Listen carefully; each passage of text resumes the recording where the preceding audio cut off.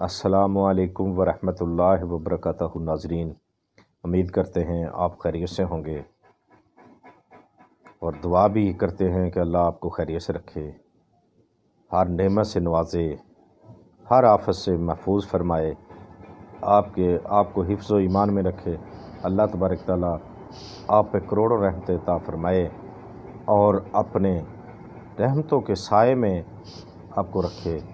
तो नाजरीन आपने आज हम आपके लिए सर्दी आ रही है, क्योंकि सर्दी के लिए, बल्कि आई गई है तो सर्दी के लिए हम आपके लिए बहुत ही बेहतरीन नुस्खा जो आप घर में तैयार करें और बच्चे भी उसको शौक़ से खाएँ और फ़ायदा उठाएँ। तो नाजरीन, क्या करना है आपने? हमारे चैनल को सब्सक्राइब करना है और घंटी का बटन दबाना है और लाइक भी करना है और आगे शेयर भी करना है ताकि दूसरों का भी भला हो सके।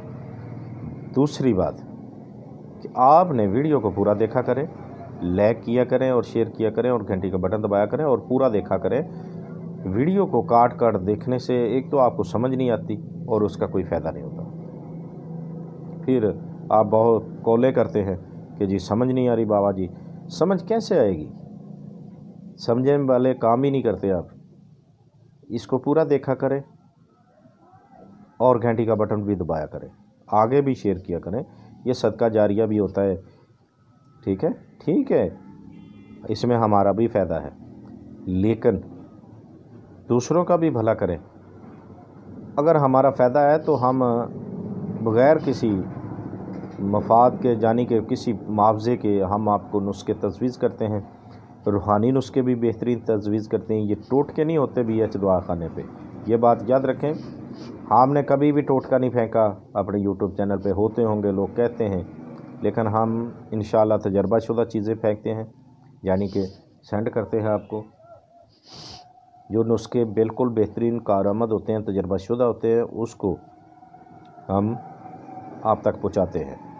यह हमारा बी एच दवाखाना है, हम पहले तजर्बा करते हैं, बाद में आपको देते हैं।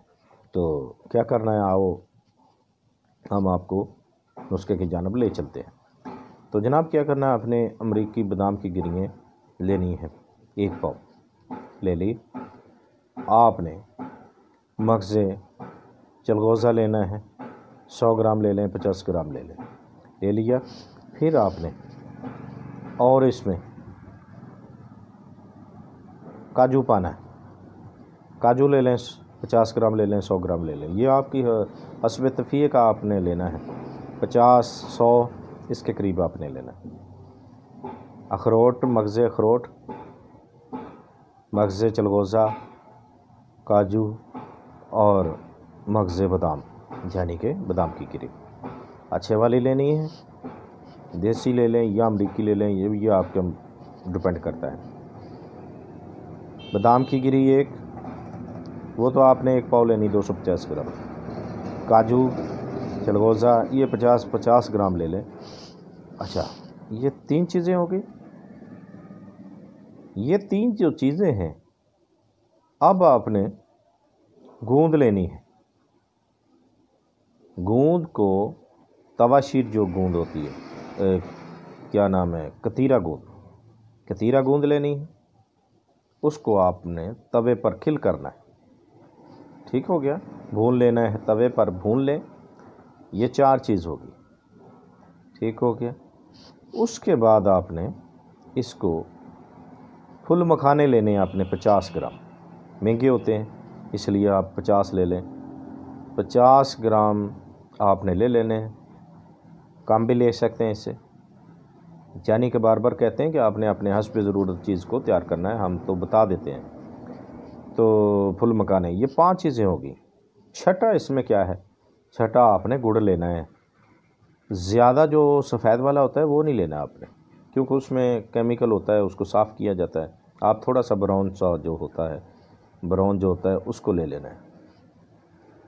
गुड़ को पिघला कर ये सारी चीज़ें, बादाम की गिरी हो गई, अखरोट, मगज़े, अखरोट हो गए, काजू हो गए, इसको बेशक आप हल्का सा चचर लें।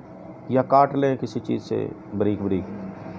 तो ये जो चीज़ें हैं सब इसको हल्का सा दादड़ कर पंजाबी में कहते हैं कि दादड़ कर या चचर कर इसको उस गुड़ में मिलाकर आपने गचक जैसे इसको बना लेना है। ठीक हो गया? ये पाँच चीज़ें, छठा गुड़ है, मिलाकर आपने इसको रख लेना है। तो इन बच्चों को दें, खुद खाएँ। तो इन ये सर्दी, ये मौसम का बहुत बेहतरीन लाजवाब तोहफ़ा है। ताकत है, बुखार, ठंड, नमूनिया सबसे बचेंगे, दर्दें नहीं होंगी जिसम में। बच्चों को बचाए और इसमें बहुत सारे और भी फ़ायदे हैं, लेकिन आप खाएँगे तो आपको पता चलेगा। इन देखते रहिए हमारा बी एच दवाखाना यूट्यूब चैनल। अल्लाह हाफिज़।